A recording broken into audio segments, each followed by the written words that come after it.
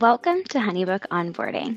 You're probably here because you recently purchased HoneyBook and you're wondering what to do next. In this video, we're really going to prioritize focusing on the very key areas where your time is best spent while getting started with HoneyBook. That way, everything is set up and ready to go so you can actually start to use the system.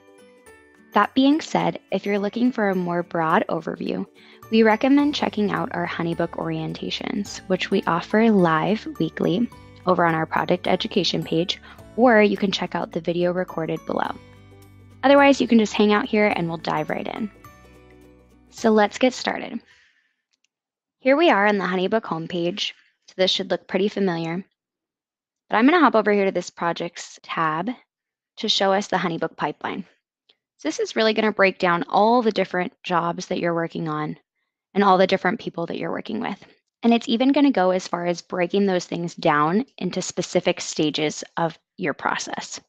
So you can customize these stages as well. I can scroll along here to see you know, from the very beginning inquiry all the way through the final completion of the project.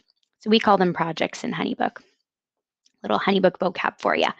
So these stages actually are tied to some automation. So the inquiry stage here is always going to reflect those people who have not heard from you yet, whereas the follow-up stage is going to um, categorize anybody who actually has received at least one message from you. So, kind of a differentiator between the people who haven't heard from you yet and those who have at least received one message. So, Honeybook will automate that process for you in the pipeline, as well as proposal sent.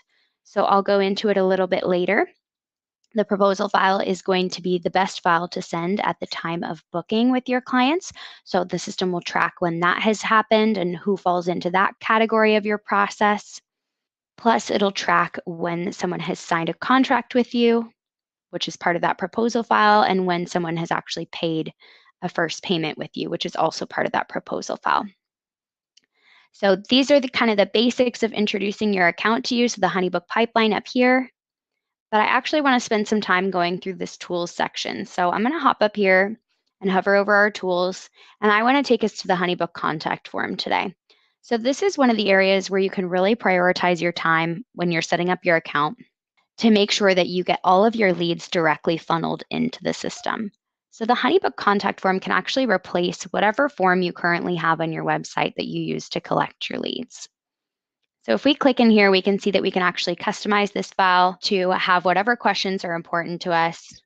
So we can change any of this. We can click our cursor in and adjust any of this here. And I'm going to open this menu here on the side too, just to highlight this direct link option.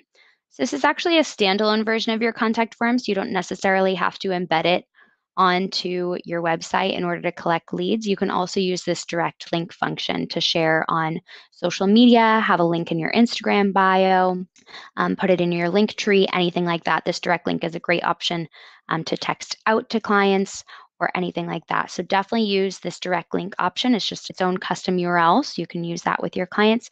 You should also definitely embed this contact form onto your website so that anyone who fills out that form will actually have a Honeybook project automatically added to the pipeline on your behalf. And that way you do not have to manually add them every single time. Okay, so area number one of getting your account set up is working on this contact form, making sure it looks good, it's collecting all the information you need it to collect and then embedding it onto your website. A little pro tip here to actually find how to embed it onto your website, you can come down here to the Help Center. Um, you can search that Help Center and find the articles on embedding the contact form, and that'll walk you through the process of getting that onto your website. Another area where you should prioritize your time when getting your account set up is this template section. So Actually, if you've just purchased membership, this is something that we'll do for you for the most part. So our um, complimentary account setup is included with membership.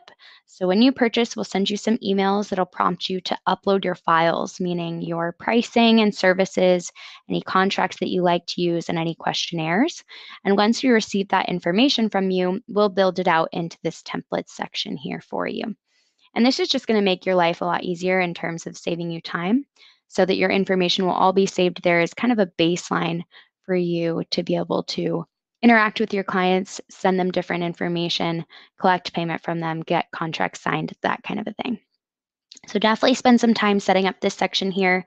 Things that we won't build out are email templates. So if you have consistent messaging you like to send to your clients, you'll want to do that here. You can just create a new email template. Um, packages, this is actually where we'll end up building in all your pricing and services. So this is where all that information lives. And I touched on contracts and questionnaires as well. So definitely spend some time in here kind of playing around and making sure that all this information, for the most part, um, is set up so that you're ready to go. Specifically, prioritizing setting up emails, packages, and contracts. And that'll make sure you have a really solid baseline to start booking your clients. So the final piece here, once you've you know figured out how to add all your leads into the system, whether it be through the contact form or the direct link from that contact form as well, or even manually adding them, which is what we'll do in a second. Uh, once you get your leads into the system, you'll want to know actually how to book your clients. So that's what we'll go through right now. So to manually add in a lead, you come over here and you click New Project. There are some other options here, but for my new users, I always just say ignore those bottom three, and we're just going to start with New Project. And that just makes sure that we're starting in the process chronologically. Usually what clients will do here is they'll start with something like the client's name and then describe whatever type of project it is that you're working on with this individual. So if it's a design project or if it's an event or whatever kind of project it is, that's how you'll want to title the name here for this job. You can assign it a type. So this is the type of work you'll be doing with the client. So you can choose from this list. You can also customize this list. Same thing for lead sources. You can customize this list. Give the project a date if it's something like an event or um, if you're giving yourself a due date for this project, that's usually what you'll want to put here. Go ahead and create it. Now it's going to ask you to add in your client's contact information. So you can go ahead and add in their name, email, any other information you might want to save about them and go ahead and click add. And now you're ready to start working with the client. So you've got this space where you've organized all the details about this job. You've got their contact information added. You've given them a title. We've got our activity feed here where we can message the client. So we can come in here to send them an email. But right now, the client is ready to book. So I'm going to come over here, and click New File, and I'm going to send the client a proposal. So I teased at this a little bit during the beginning of the video that the proposal file is the best booking document to send. So this is going to include a contract and invoice all in one, which is why it's the best file to send at the time of booking because more than likely you're going to want your client to review the terms of service, sign the document, and then go ahead and pay you. And the proposal will put that all into one file. So we'll stop in here. We'll start with this blank version. And now we can see we have the option to add a new item. And it's actually going to go ahead and pull in our packages list. This is from our master template section that I was just highlighting to you guys, which is why it's important to have your services and pricing built out there first. That way, when you go to send a bookable file to a client, all of your services are already included. So let's say this is the package your client's receiving from you. You can adjust anything you need, change the price maybe, change the services. Maybe they're not going to receive this part of your package. We can adjust our payment schedule if we need to, click in to change the amount or click in to change the date. And then we have our contract down here. Now, when we're ready to send this off to the client, all we have to do is come down to the bottom or come to this side over here and click Review Email. It's going to pull up our message that we're going to send to our client, which we can adjust, add a personal touch if we need to, and go ahead and send it off. And now our client on their side is actually going to be able to go through the document, sign off on the contract, and pay you.